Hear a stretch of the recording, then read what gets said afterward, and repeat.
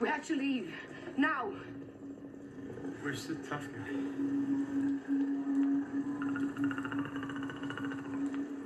He left us. He's here.